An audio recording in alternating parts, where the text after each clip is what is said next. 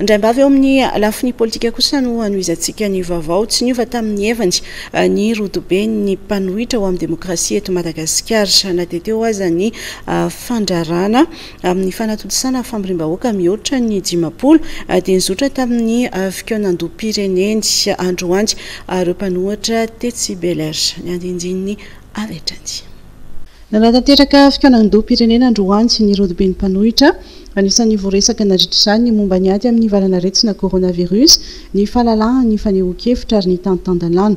Nomarihan'i Marc Ravalomanana tamin'ny lahateny nataony fa ny fihainoana ny hetahetan'ny vahoaka no vahaolana amin'izao zava-mitranga izao. Fantatra ny raha mahita. Fa tsy tokony izao ny zavatra mitranga ety Madagasikara, eto amin'ity firenentsika ity. Raha ohatra ka tena mirahina tanteraka isika ka tena mena havaoka marina ny population, ny tiana fahafahana sy fahalalahana miteny ary indrindrindra fa noro hevitra ary indrindrindrindra milaza ny zavatra marina, mampiseho azy amin'ny mangarahara, tsy toy izao ny zavatra mitranga.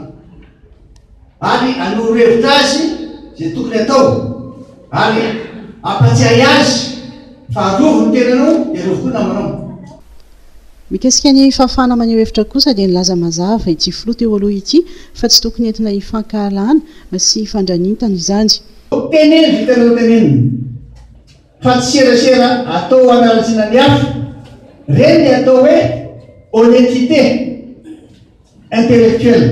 Misy ny sasany mpanao serasera dia milaza azy ho mahery dia manaratsy na mitambazotra na amin'ny facebook na amin'izay ilazany azy any.